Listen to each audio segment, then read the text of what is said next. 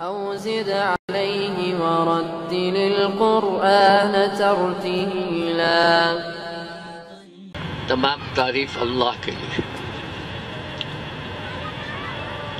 نائب صدر جمت الماء مہاراشٹرا، حافظ ذاکر صاحب، جمعیت علماء مہاراشٹرا کی ورکنگ کمیٹی کے ممبر مفتی محسن صاحب آپ وکلا صاحبان میں اس کا قطن اہل نہیں ہوں کہ آپ میری پذیرائی کریں۔ مجھے ڈر لگتا ہے کہ اگر سب کچھ میں نے اس دنیا میں لے لیا تو شاید اللہ یہ نہ کہہ دے کہ جو کچھ کیا تھا اس کا تم نے صلہ دنیا میں حاصل کر لیا ہے تمہارے یہاں تمہارے لیے یہاں کچھ نہیں ہے، یہ مجھے اب ڈر رکھنے لگا ہے۔ اتنے میرے لیے پروگرام ہوتے ہیں اور مجھے مجبور کیا جاتا ہے کہ نہیں، تم کو آنا ہی ہے۔ بہرحال آپ حضرات کی محبت تھی، میں یہاں آیا۔ جمعیت علماء مہاراشٹرا، آپ کو معلوم ہوگا کہ آپ کے شہر کے کچھ نوجوان بچے۔ اورنگ آباد اسلحہ ضبطی کیس کے سلسلے میں گرفتار کیے گئے تھے۔ اسی طریقے سے وہ جو دو ہزار چھ تھا، وہ مہاراشٹرا کے مسلمانوں کے لیے ایک دردناک تاریخ جو ہے، وہ مزین کر گیا ہے۔ کہ یہاں کے مسلمان جو ہے وہ دہشت گرد ہے سب سے پہلے نو مئی کو آپ کے اورنگ آباد اورنگ آباد اسلحہ سے گرفتار کے سلسلے میں کچھ نوجوانوں کو گرفتار کیا گیا۔ ان کی تعداد غالباً تیئیس تھی یا تیرہ تھی اس وقت میں۔ بتا نہیں سکتا۔ اس کے ٹھیک دو مہینے بعد، یہ نو مئی کا آپ کا اورنگ آباد اسلحہ ضبطی کیس کا معاملہ تھا۔ اس کے ٹھیک دو مہینے بعد، گیارہ جولائی کو دو ہزار چھ بمبئی میں سلسلہ وار ٹرین بم بھلا دھماکے ہوئے، اس میں تیرہ لوگوں کو گرفتار کیا گیا۔ اور پھر اس کے ٹھیک دو مہینے بعد، اٹھائیس ستمبر دو ہزار چھ کو مالیگاؤں میں بم بلاسٹ ہوئے اور وہاں نو لوگوں کو گرفتار کیا گیا۔ اس طریقے سے ان تین مقدمات میں پینتالیس لوگ گرفتار ہوئے۔ اور ان پر مکوکا لگایا گیا۔ شاہد اعظمی مرحوم خدا اس کو قریق رحمت کرے۔ اس نے ان پینتالیس مسلمانوں کے مقدمات کو بغیر کسی پیسے کے نچلی عدالت میں دیکھا۔ جب مکوکا لگا دیا گیا تو اس کو کچھ تشویش ہوئی کہ اب یہ جتنے بچے یہ پھانسی سے کم ان کو سزا نہیں ہو سکتی۔ اس لیے ہائی کورٹ میں اس کو مکوکا کو چیلنج کرنا چاہیے۔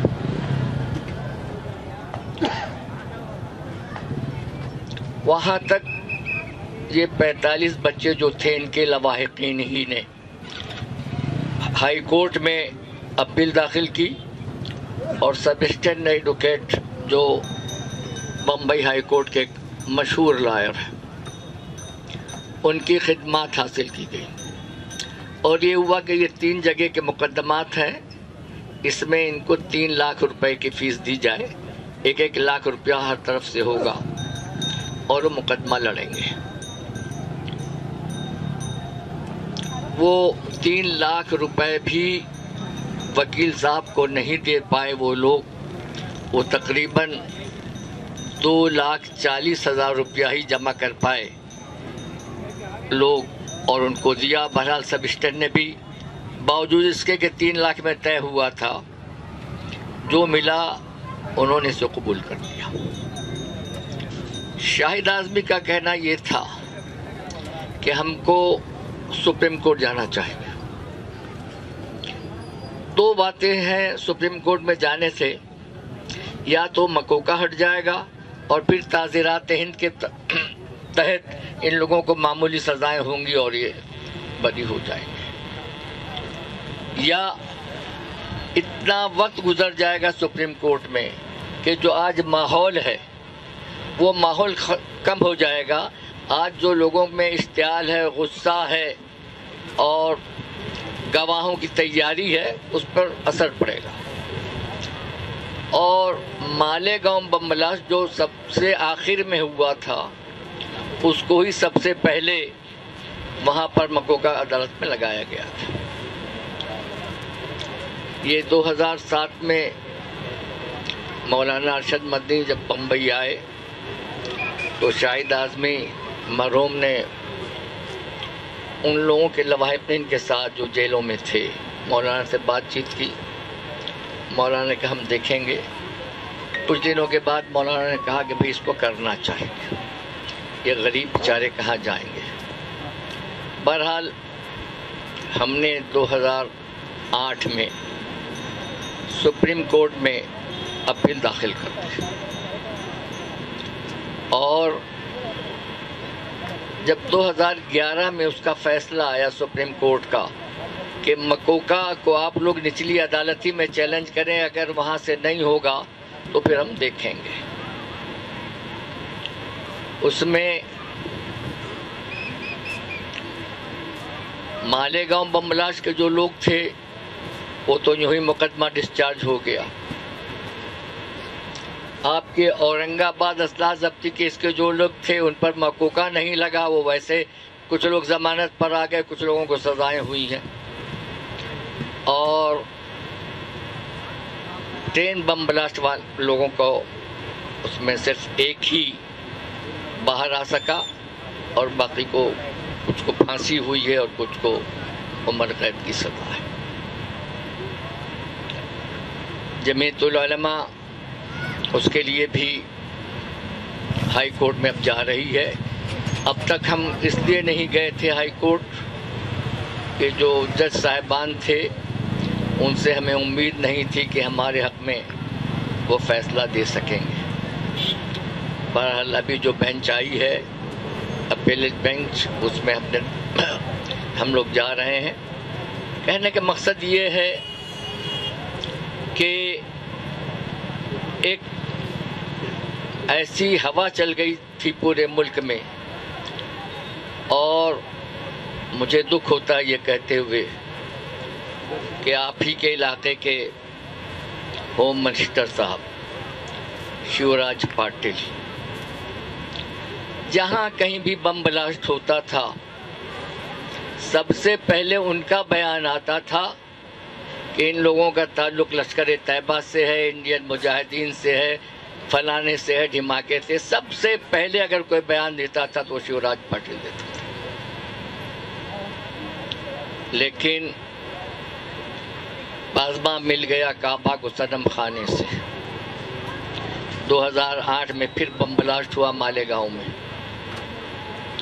اور ایک ایماندار پولیس آفیسر آ جہانی ہمت کر کرے اس نے وہ پیشانی پر سے دھبا مٹا دیا مسلمانوں کے کہ جتنے بھی بم بلاسٹ ہوئے ہیں، وہ مسلمان نہیں کرتا ہے وہ ہندو دہشت گرد کرتا ہے۔ بہرحال، ہماری حکومت نے اس کے ساتھ جو کچھ کیا، وہ دنیا جانتی ہے۔ آج تک یہ معلوم ہی نہیں ہو سکا ہے کہ اس کو کون سی گولی لگی تھی اور کس کی گولی سے وہ مارا گیا ہے۔ بہرحال، یہ کام کے ابتدا کے بعد سب سے پہلی کامیابی ہم کو ملی تھی۔ کلکتہ میں سات مسلمانوں کو جو امریکن کونسل خانہ تھا، اس پر حملہ کرنے کے الزام میں پھانسی کی سزا ہوئی تھی۔ سات کے ساتوں کو شاہد اعظمی مرحوم نے کہا کہ ان کا مقدمہ بھی ہم کو دیکھنا چاہیے۔ صرف مہاراشٹرا کا مت دیکھو، آگے بڑھو۔ ہم نے مولانا سے بات کی انہوں نے کہا، اللہ مالک ہے، کرو۔ اس سات لوگوں کا جب ہائی کورٹ میں گئے ہم، کلکتہ ہائی کورٹ میں، تو اس میں دو باعزت بری ہو گئے جن کو پھانسی کی سزا تھی۔ اور تین جن کو پھانسی کی سزا تھی، ان کی سزا سات سال میں تبدیل ہو گئی۔ یعنی دو ہزار دس میں وہ باہر آ گئے۔ دو ہزار دو میں امریکن کونسلیٹ میں وہ ہوا تھا اور اسی وقت گرفتار ہوئے۔ دو ہزار دس میں ہائی کورٹ سے فیصلہ ہے اور کہ تین جو ہیں، ان کی سزا تین سال، دو باعزت بری۔ جو دو ہیں، ان کی سزا کو، پھانسی کی سزا کو ہائی کورٹ نے بحال رکھا تھا۔ بہرحال ہم ہائی کورٹ گئے اور ہائی کورٹ نے بھی ان دونوں کی سزا کو پھانسی سے تبدیل کر دیا۔ ایک کی سزا تیس سال کر دی، ایک کی سزا پچیس سال کر دی۔ یہ پہلی ہماری کامیابی تھی جس میں ہم نے سات مسلمانوں کو پھانسی کے پنڈے سے آزاد کرایا تھا۔ اس کے بعد اکشے دھام مندر کا جیسا کہ ابھی ذکر کیا ہے، وہاں پر بھی سات مسلمانوں کو جو ہے گرفتار کیا گیا تھا، جس میں سے ایک کو پانچ سال کی سزا ہوئی نچلی عدالت میں، اور ایک کو دس سال کی سزا ہوئی، ایک کو عمر قید کی سزا ہوئی، اور تین جو تھے ان کو پھانسی کی سزا ہوئی۔ ہائی کورٹ نے بھی اس سزا کو بحال رکھا۔ وہ جس کو پانچ سال کی سزا ہوئی تھی وہ تو باہر آ گیا۔ باقی یہ لوگوں کی سزا جن کے دس سال اور عمر قید اور پھانسی تھی وہ برقرار نہیں۔ ہم سپریم کورٹ گئے اور اس کا فیصلہ اسی دن آیا جس دن مودی جی جو ہیں، ان وہ لیڈر چنے گئے تھے پارلیمانی کمیٹی کے، ان کی۔ اس دن ان کا فیصلہ آیا۔ کہ وہ سب کے سب باعزت بری ہوئے۔ کمال یہ تھا کہ ہم اس شخص کے ساتھ کے لیے نہیں گئے تھے سپریم کورٹ میں، جس کو پانچ سال کی سزا ہوئی تھی۔ اس لیے کہ تو پانچ سال کی سزا پوری کر کے باہر نکل آیا تھا۔ لیکن سپریم کورٹ نے جو فیصلہ دیا، اس نے یہ کہا کہ جس کو پانچ سال کی سزا ہوئی ہے، وہ ہمارے سامنے نہیں ہے، لیکن ہم اس کو بھی باعزت بری کر رہے ہیں۔ اس لیے کہ وہ جو سزا ہوئی ہے وہ غلط ہے ہم اس کو بھی باعزت بری کرتے ہیں۔ یہ دوسری ہماری کامیابی تھی کہ ہم نے تین مسلمانوں کو پھانسی کے بچایا۔ آج کے حالات میں ہم کو کچھ ایسا بھی کرنا پڑا کہ برادران وطن کے بھی کچھ کیسز ہم نے دیکھے۔ اس میں دو کیس تھے بمبئی کے تھے۔ ایک کو اپنے بیٹے اور بیوی بچی اور بیوی کے قتل میں مقدمہ چلا تھا۔ وہ الحمدللہ ہم شیشن میں ہی جیت گئے اور وہ باعزت بری ہو گیا۔ دوسرا ایک مکمل مقدمہ تھا جو شیشن کورٹ سے پھانسی کی سزا ہو گئی تھی، لیکن ہم ہائی کورٹ گئے اور وہاں وہ باعزت بری ہو گیا۔ یہ اللہ کا شکر ہے کہ اس نے میرے ناتواں کانسوں پر جو حضرت مولانا نے ذمہ داری ڈالی تھی، اس میں اس سے مجھے کامیابی عطا فرمائی۔ لیکن یہ کامیابی میری تنہا کی کامیابی نہیں۔ میں اکیلا چنا بھاڑ نہیں پھوڑ سکتا۔ تھا اگر جمعیت علماء اور بطور خاص مسلم امہ جو میرا ساتھ نہ دیتی تو شاید جو آج ہم سات سو مقدمات پورے ملک میں سات سو لوگوں کے دیکھ رہے ہیں، جن کی مجموعی تعداد ساٹھ مقدمات پورے ملک میں ہم دیکھ رہے ہیں اور اللہ کا شکر ہے کہ رمضان میں ہمیں مسلمان اتنی رقم دے دیتا ہے کہ ہمیں وکیل سے کبھی یہ کہنا نہیں پڑتا کہ آج ہمارے پاس پیسہ نہیں، ہم بعد میں دیں گے۔ جہاں یہ چیز تھی، وہاں کچھ مجھے دکھ بھی ہوتا ہے۔ دکھ اس بات کا ہے، معاف کیجیے کہ مسلم وکلا جو ہیں، ان میں اتنی ہمدردی نہیں ہے جتنی میں نے ہندو وکلا میں ہمدردی دیکھی ہے۔ اکشردھام مندر کے مقدمے میں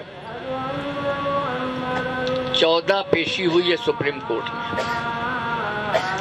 شانتی بھوشن صاحب جو سابق وزیر قانون تھے، ان کی دو ہزار دس میں ایک روز کی پیشی، چاہے آپ کا مقدمہ چلے یا نہ چلے، وہ آ کے بیٹھ گئے ہیں تاریخ پر، تو ان کا ساڑھے سات لاکھ روپیہ ہوتا ہے۔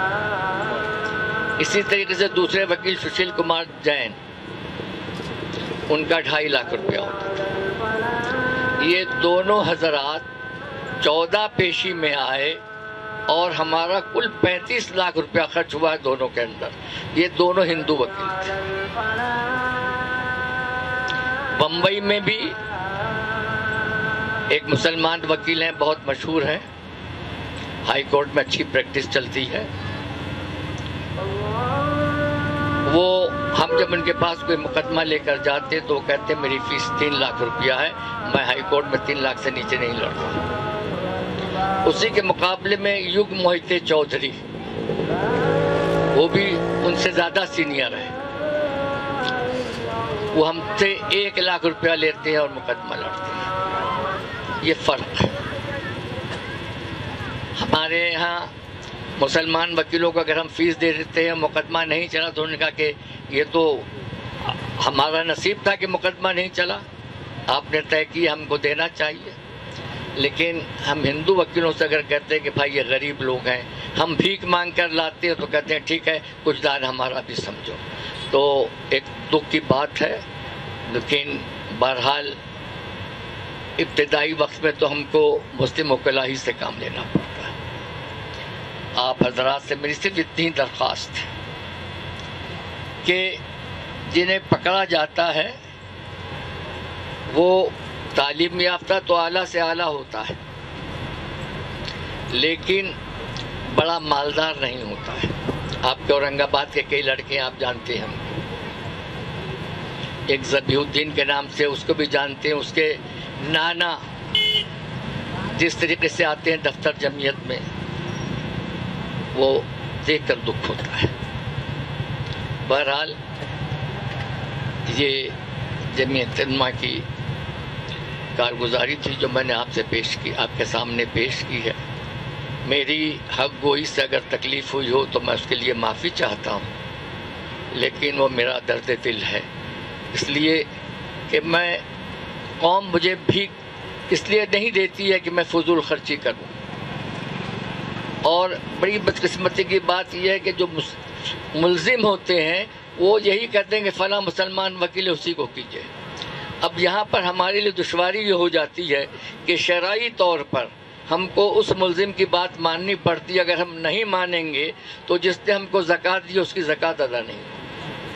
ہم ملزم کے بھی وکیل ہیں اور مسلم امہ کے بھی وکیل ہیں۔ ان سے پیسہ لیتے ہیں، ان کو دیتے ہیں۔ تو میری یہی گزارش ہے کہ آپ حضرات اس طرف توجہ دیں اور زیادہ سے زیادہ بچوں کو مسلمانوں میں یہ ہونا چاہیے کہ وہ لا کی تعلیم دیں اور مجھے خوشی ہے کہ اورنگ آباد اسلحہ ضبطی کیسی کے تین ملزم، جس میں ایک ڈاکٹر شبیر ہے، آپ کا، مالے گاؤں کا، وہ وکیل ہو گیا ہے، تنویر ہے، وہ وکیل ہو گیا، تین لوگ جو ہیں انہوں نے جیل میں وکالت کا امتحان پاس کیا ہے اور وکیل بن گئے تو میں سمجھتا ہوں کہ ان میں انشاءاللہ یہ جذبہ ہوگا۔ شاہد اعظمی میں بھی یہی بات تھی کہ وہ کمسن تھا، نوجوان نہیں، نوجوان تھا، جوان نہیں تھا، اور اس کو بھی کشمیر میں